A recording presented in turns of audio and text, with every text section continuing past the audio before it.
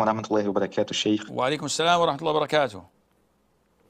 Sheikh, I became a Muslim last year, so I have a lot to learn. Alhamdulillah. And researching, researching, I found two affirmations that uh, first, we received an option to come to this world or not, and second, when we die, all of us will have 33 years old. So my question is, when we die, we will have only the memories and learnings that we gain this life, or we have some extra memories before life, for example, because we receive an option, right? I, I don't understand your second question. The first question, were we given the choice before coming to this world? The answer is no.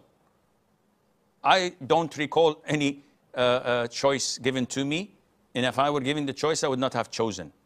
But this is not something we can pick and choose. No one can say that, yeah, I was given the choice and I took it. And another says, no, I didn't. I, I said I don't want to come, but I was forced to come.